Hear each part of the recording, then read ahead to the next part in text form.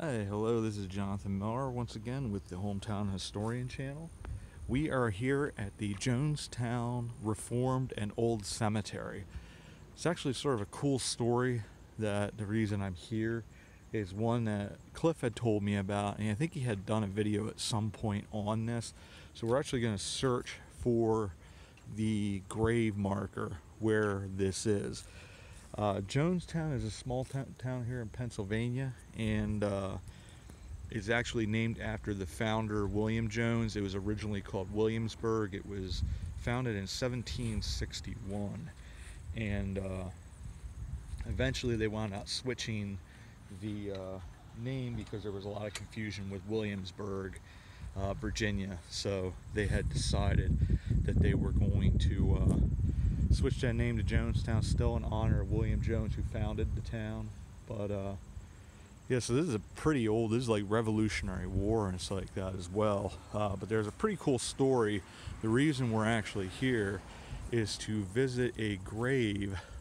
It's not actually of a person. It's of a part of his body. His name was Harrison Schatzner, I believe, or Schatzer, and he uh, was there's an old hotel tavern here in town called the Buck Hotel, and that uh, hotel in 1888 had a uh, owner or the proprietor's name was the Harrison, I believe, Schatzer, and or Shart, Shart, sorry, Schartzer, and he was riding on his horse and carriage down along the Swatara Creek near the railroad line. And unfortunately for him, his horse got spooked and threw him off the carriage or off his wagon and he fell in front of the train. Now, I'm assuming he just got hit, the one leg got hit by the train because they said he wasn't able to get his one leg out of the way and that they took him over to it's called the Central Hotel, which was on the other side of the creek, I believe. And the doctor decided they had to amputate his leg. So he is not buried here. He is actually buried, he died sometime later. He actually lived, I think, a full life. He's buried over at the Lutheran Cemetery, which at some point we'll do that one and we'll see if we can find his actual gravesite. But he had his leg buried here in between his parents' grave markers. So we're going to see if we can find that here. It is here in this cemetery is where this is buried. Uh, Jonestown Historical Society also runs, which I don't think the last last year they didn't run it because of the whole COVID thing, but they've run like a, a haunted thing. But they go through the cemetery. It's really neat event, and hopefully they maybe run that again this year. Whether they do or not, a lot of these smaller historical societies, they sort of tend more on the side of caution in that regard because like Monroe Valley Chapel was running those Christmas services and they're not going to do them again this year simply because it's just it's a lot. Um, also been doing a lot more research on cemeteries and uh, found out like these ones where they had the hands combined on the tombstone is either it's it's God shaking hands with people or it's a beloved husband and wife being reunited, that type of stuff. But it was cool, a lot of different little things they were talking. I actually found out from the Jonestown Historical Society about what some of these things actually mean. Like they mean different things over time, but at the time when they made these markers, that's what they meant. So I'm assuming he might be over in this area somewhere because a lot of these look like they might be Revolutionary War, but this is definitely is a cemetery with a lot of age. In fact, it looks like there's a Revolutionary War marker right here which this stone looks like it has been cleaned. Uh, Johannes Spittler. That's pretty. That's pretty neat. He was a Revolutionary War vet. Uh, he died 1820. He was. Uh, and he was in German. I think 1719. So he lived. If that's 1719, that's he's 101 years old, or at least 100 years old. Which is pretty impressive. There's another one. Looks like it was cleaned as well. Always find find these old like I think the wreath I forget what that means but that had a, had a really special meaning as well so it's pretty neat stuff so let's go let's go over here and let's see in this part of the cemetery which is a little bit newer which would be around the time 1888 when he had his leg removed and it would have been buried with his parents. Uh, like I said, Cliff had done video out here at some point. It's just a really unique, like local story, and I'm assuming it says something about the the guy's leg is actually buried right in between the tombstones of his parents. So I'm hoping we find it.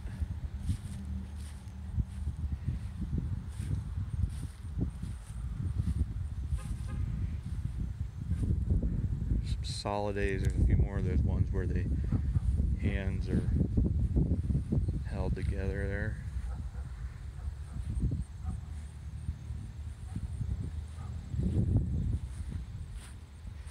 Sort of wonder might be.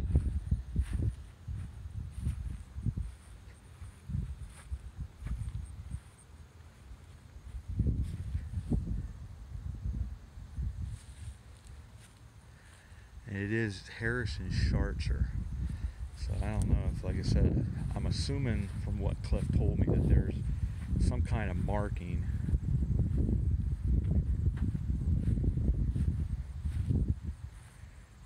for his leg.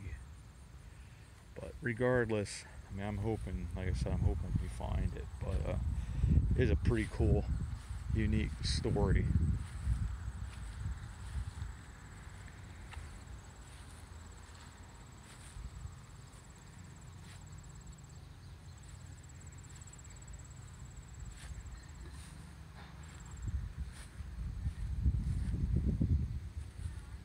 There's like Bickle.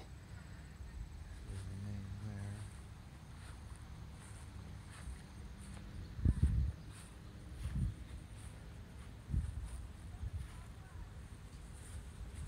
I have to say as well, a uh, special shout out to Jay and Rebecca, two of my viewers.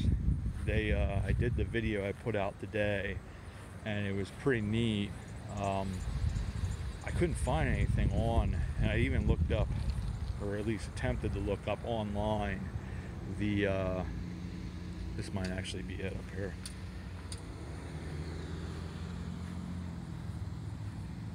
Yep, this is it.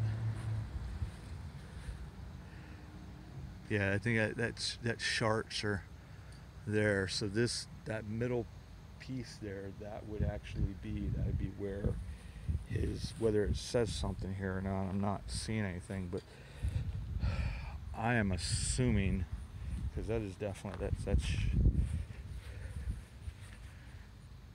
Shartle. Yeah, it was. Yeah, William Shartle, and that's that would be his mother. I can't. I think it looks like Leah.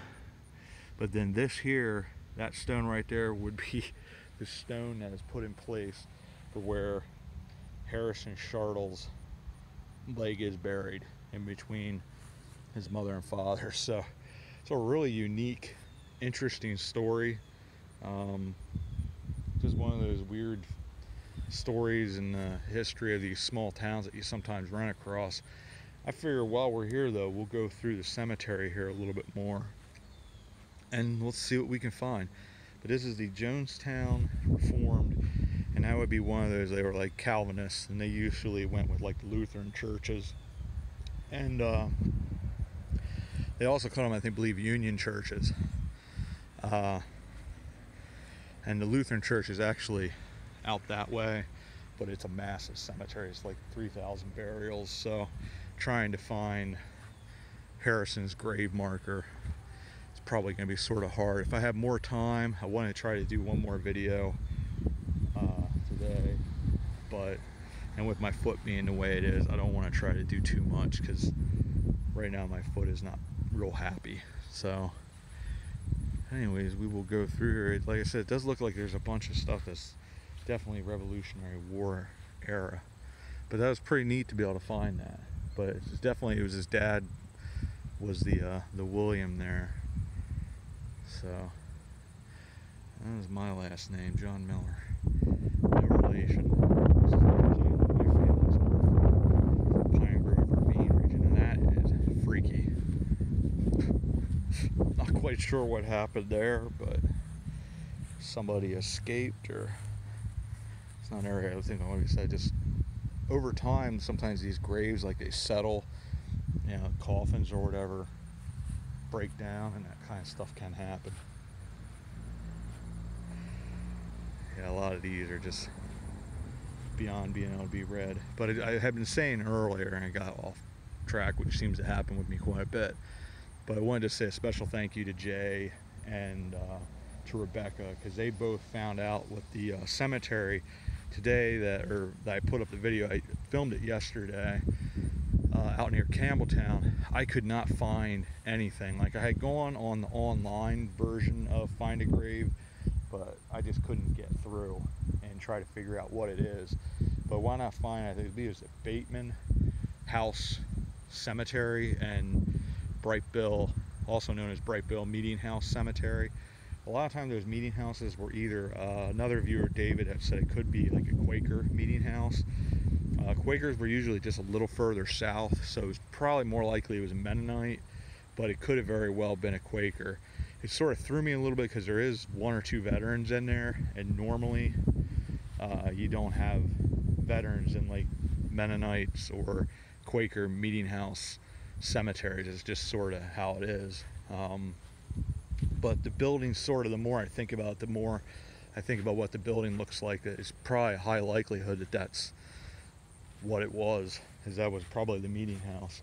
It certainly has the age. I want to check this out and see who. This is some war vet there. Miley, I believe, is. Yeah, Henry Miley, born 1806.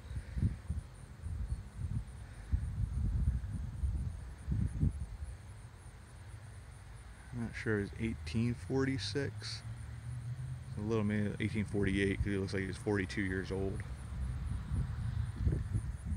But usually, if you had stones like this, you uh, pretty well off. It's always sort of interests me is like where was uh, the founder of the town, the William Jones? Where is he buried?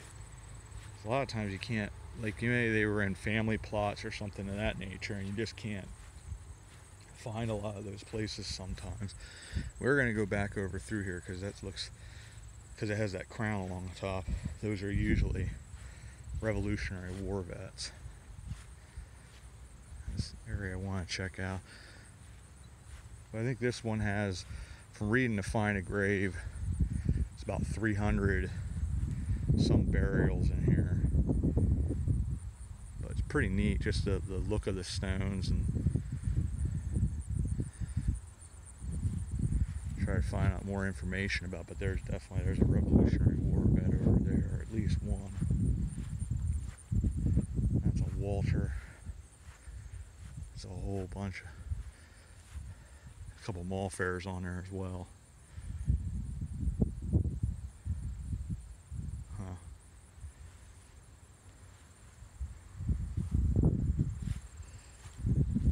But these small cemeteries, I never realized that this cemetery was as old as it was because my doctor's office was right over there and you just sort of i don't know you go buy stuff and like i say quite a bit like you go buy things like that and you don't realize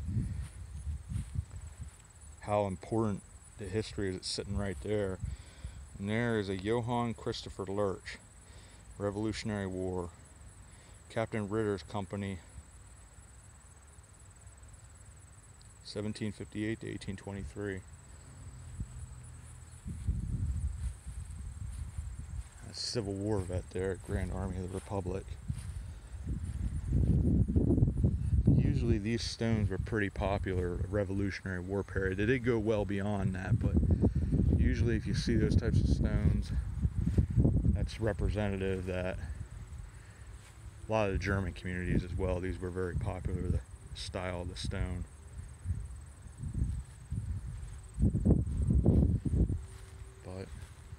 But anyways, Jay and Rebecca, I give a special thank you to you guys because the information that you guys get. Jay is also, I believe, he was uh, the one as well that figured out the uh, Nafziger plot. I had that was I think my second video. It had small sem- uh, family cemetery, and I had named it the Stauffer Cemetery because that was the only tombstone that was legible because it was a new one. Uh, I believe it was a David Stauffer. He was a World War II vet. And uh, anyways, he's the one that found that as well. So I did change that one as well. And the Cleona one that was hidden in a cornfield, that one I found out is known as the Bowman Kreider Farm uh, family plot. I'm assuming the Bowmans are the ones that own the farm originally, and the Kreiders bought it from them because primarily the people that are buried there in that Cleona one are Kreiders. I think there's two other ones beyond that family, but uh, the earliest burial there was 1725, which that might be the earliest stone that I've come across with the date. These are really, really neat. Like the writing on them is just, I've never, like this one's probably the best one that you can see. How it's just, it's, it's German, but it's really quite neat.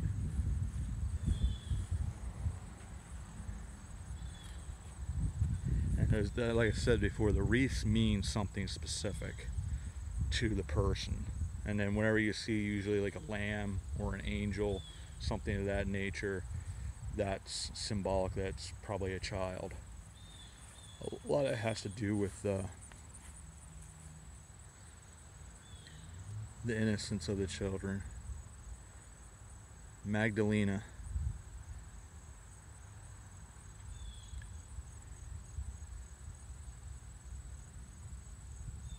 So she was born in 1818 and died in 1888.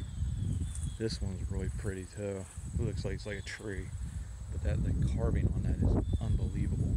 Like they really, the people that did these, man, they were they were uh, brilliant, brilliant, brilliant artisans because it truly was an art form. And here's a couple that are turned the other way. And once again, these are all in German. These communities, the majority of them, very uh, German. So there's at least two or three, I think there's three Revolutionary War vets in this. Oh, these ones I always was the flat ones. This is in German. Jacob Gasser, 1798 only lived eight. It looks like 1818. Yeah. So that's the story of Harrison uh, Schartzer and his leg, which is buried here at his uh, parents' grave. Unfortunately, there's nothing written there, but that that was a story I was given by Cliff, and it's the one I also read uh, off of the Jonestown Historical Society. They talk about that, and just one of those unique local stories. I figured I'd share with you. It's a cool, cool little cemetery here.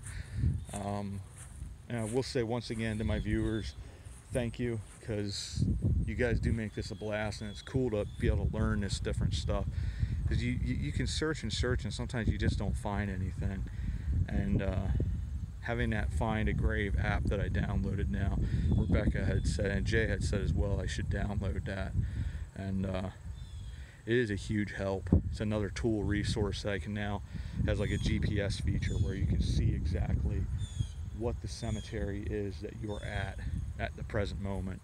And also there's a lot of really neat old family family cemetery plots like farm plots. So there'll be a bunch that I'll be checking out and doing for you guys.